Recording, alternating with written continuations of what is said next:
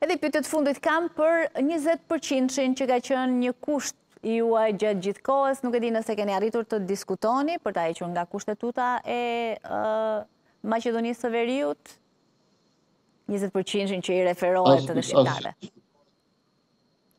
as që diskutohet, unë tash tre pikat e para i dakorduam të qeverisjes së ardhshme, njëra prej kërkesave, jo kërkesave, insistimeve tona do të jetë edhe 20 përqind. Besoni që do ta pranojë VMRO DPMNE-ja me atë retorikë nacionaliste që ka përdorur gjatë gjithë kohës?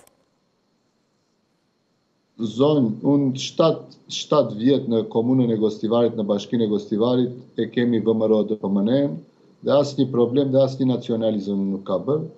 Shumë varet për kush është partneri i koalicionit VMRO-së.